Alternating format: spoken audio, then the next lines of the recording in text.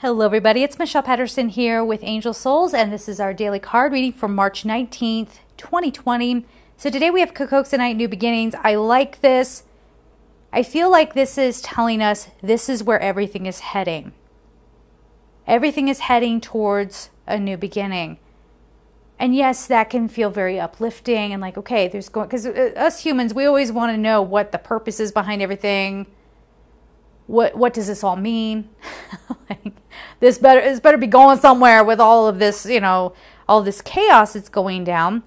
And here it is. Yes, we are taking a turn. We are coming into a new chapter. This is going to come with a lot of upheaval and some realizations. Even as I record this, there has been this inexplicable noise factor where everyone is slamming things around. They're rushing around. They're slamming doors. Uh, there's a construction truck which is invisible to me but i can hear it. Um, and it's kind of making me nuts because i'm like nah i hear you out here. Where are you? So all of this we're going to be experiencing a lot of aggravation. We're going to see people acting out in their fear. Now here's the thing that i think is a part of this new beginning is that we can't overlook things anymore. There's been this very popular thing of, oh, let it go, let it go, stay positive.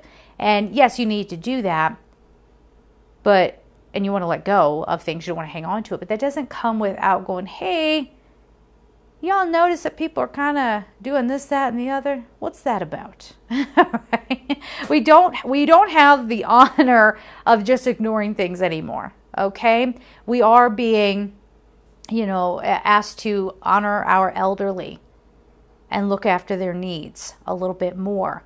We're being asked to pay attention, and I mentioned this in another video too, to pay attention to domestic violence, uh, to child abuse, you know, because now kids are home, people are having to work from home. If home is a dangerous place, God forbid, you know, where are they supposed to go?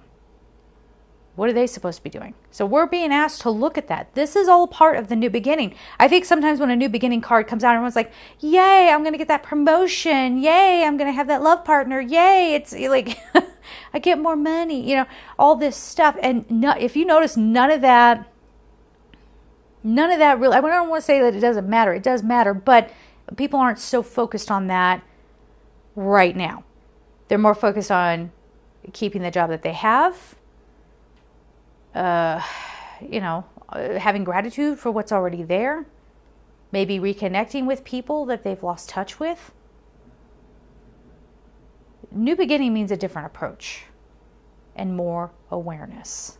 Okay? So we're going to leave it there, guys. I'm sending you so much love and take care. Bye bye.